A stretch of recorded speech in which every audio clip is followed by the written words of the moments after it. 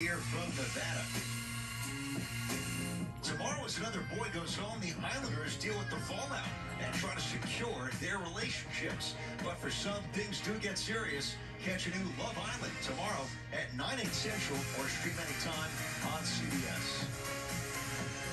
Let's take a look at our Burger King game break and getting ready for the main event. Avery Johnson, two years ago, Lisa Leslie and the triplets, winners of the ship at Staples Center, and they were winners in week one as well this year against Bivouac.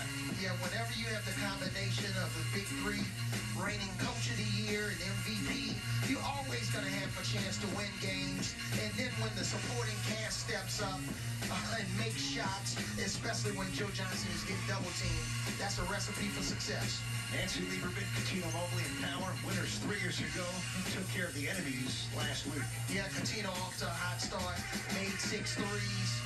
Uh, he was phenomenal in, in week one. Every amazing triplets, just one loss in their two big three seasons was against Power. Week five of 2019, Corey Maggette, the key three-pointer, little revenge opportunity here today. And don't forget a third game today on Triller, Threes Company, and Killer Threes, who last year made the finals, will try and get their first win in 2021. Yeah, the Killer Threes need C.J. Watson to step up.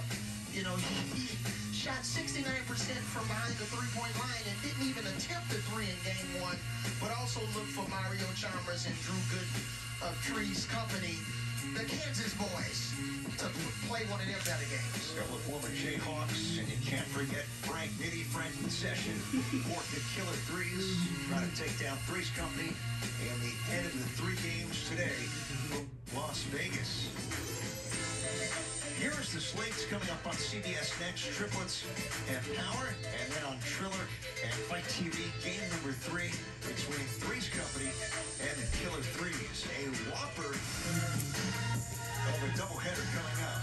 first, the main event, Power and the Triplets is coming up. The big three on CBS.